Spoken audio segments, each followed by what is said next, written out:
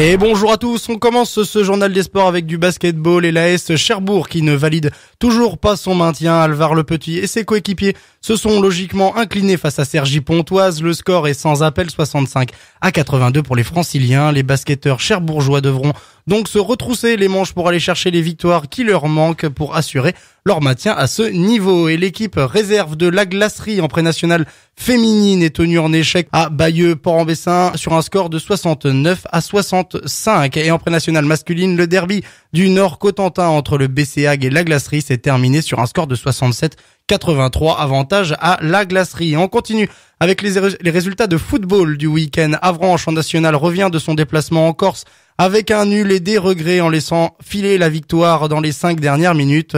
Résultat 1 partout contre Bastia. Le Pointag signe lui un match nul satisfaisant contre Mondeville B 0 à 0. Cherbourg A s'incline à Dives 2 à 1. La réserve ne fait pas mieux contre Villedieu et s'incline sur sa pelouse 1 à 0 contre les Sourdins. Tour-la-Ville s'impose lors de son déplacement à Flair 1 à 0 et enfin en Ligue 1, le Stade Malherbe de Caen contre Guingamp est resté sur un score nul, un but partout.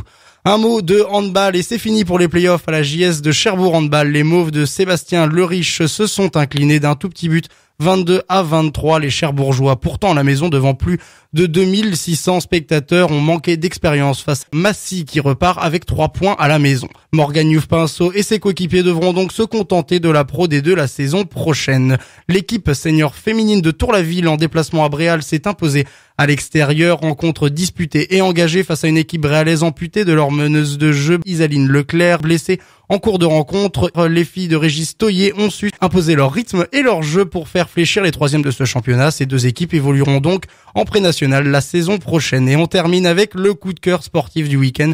À l'occasion du marathon de Londres, l'astronaute britannique Tim Peake a décidé de courir lui aussi à 400 km au-dessus de la Terre. Tim Peake a réalisé un marathon sur un tapis roulant à bord de sa station spatiale européenne. L'astronaute britannique a bouclé ses 42 km en 3h35 minutes et 21 secondes selon les estimations postées sur le site internet de l'agence spatiale.